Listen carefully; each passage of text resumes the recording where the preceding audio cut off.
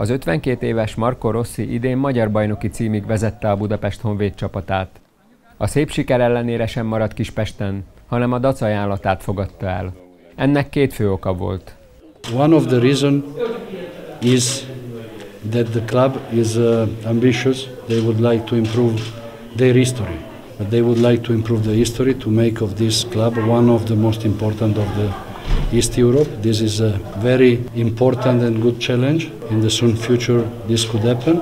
Then the other thing for me very important is the atmosphere. I like very much play with a lot of people coming to see the match. I know that here there are a lot of fans, very enthusiastic fans, and we would like to convince them that it's right to come to see the matches.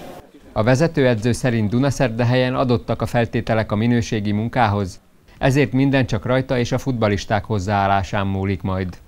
Ahogy Rossi fogalmazott, fel kell mérnie a játékosok képességeit és ki kell alakítania a megfelelő játékstílust.